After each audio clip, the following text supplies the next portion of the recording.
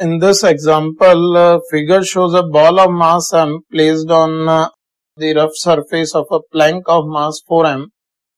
which is placed on smooth ground. If plank is pulled by a horizontal force F, we are required to find linear acceleration of plank and cylinder if cylinder is not a slipping on plank. In this situation, we just carefully analyze the motion of the two bodies on uh, applying a force F on the plank due to roughness here a friction will act on it and uh, the same friction will act on the ball in opposite direction. In this situation we can state as uh, the cylinder is not a slipping on plank that means it is in pure rolling then for the case of pure rolling we can state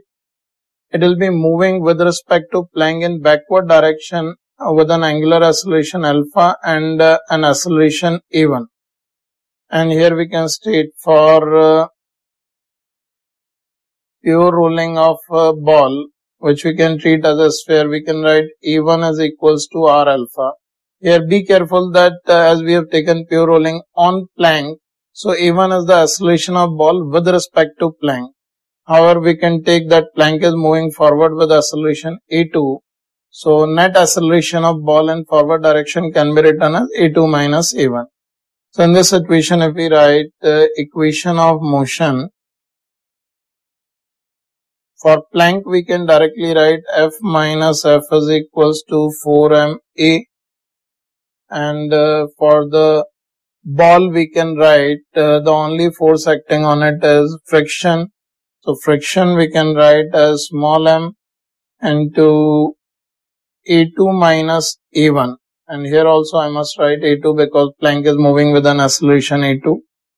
and uh, if I add the two equations uh, I'll be getting f is equals to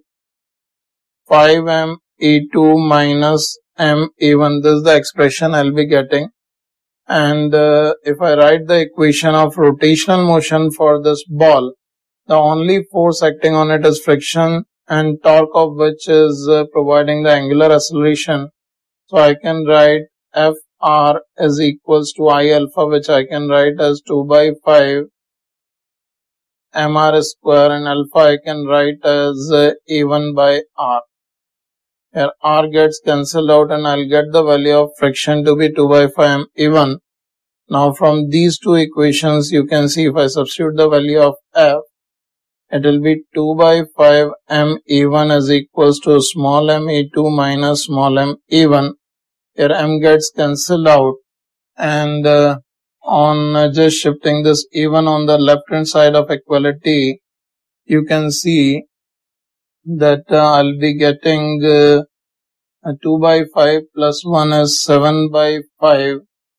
a1 is equals to a2 this is the relation I'm getting here so now in this situation,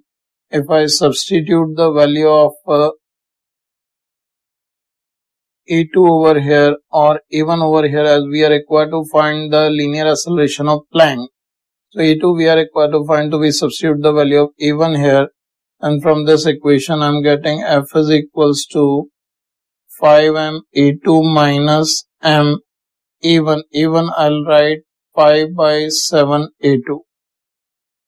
from here I can write on simplifying. It will be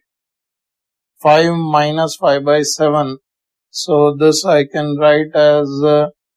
30 by 7 m a2 this is the result I'm getting. From here I can get the value of acceleration of plank as 7 f upon 30 m. That will be the answer to our problem which is the acceleration of plank which we have just now calculated by writing equation of motion for plank and that of cylinder. For cylinder, we have written one translatory motion equation and other is the uh, equation of motion for rotational motion. So we are handling the problem in the similar way what we have discussed by using Newton's second law for translational motion as well as for rotational motion.